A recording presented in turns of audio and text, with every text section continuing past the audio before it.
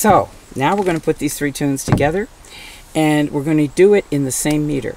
We're going to use the same timing for tempo, basic for all of them. And you'll see what happens when you go from a 4-4 to a 6-8 to a 2-4. We're all in A minor and it starts with Cutting Ferns, then Cluck Old Hen in 6-8 and Cluck Old Hen in 2-4. So, so we have one and two and